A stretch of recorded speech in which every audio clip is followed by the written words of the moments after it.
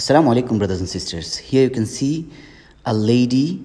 She came from outside and entered the masjid and started copying the Muslims while they were praying. She was also giving sujood to Allah Azza wa Jal. She was trying to pray like the Muslims.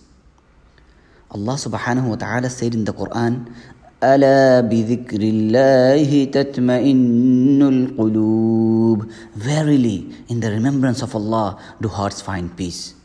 In the outside world, in the harsh world, where everyone is struggling, where everyone became so selfish, you have no other place of getting peace, serenity, and calm and tranquility other than the masjid, other than the house of Allah, other than remembrance of Allah.